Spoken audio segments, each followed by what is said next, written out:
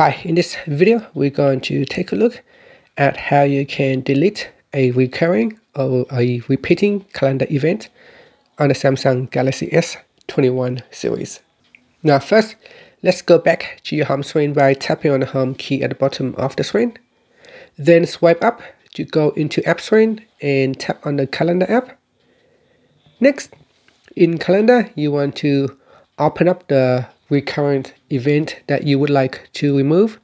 So for example, this one here, then tap on that one and tap on delete. And here it says, do you want to delete only this event or do you want to delete all the events in the series? So that means, do you want to delete all the repeating events? So choose all events in series and that's it. So now all the repeating events has been removed. Now if you take notice of this one here, test 3 event. So that is a repeating event of every day. So now I'm going to delete that one as well. And I'm going to choose this and future events or you can delete all the events in the series. This means it will delete all the events in the past, the current and the future events.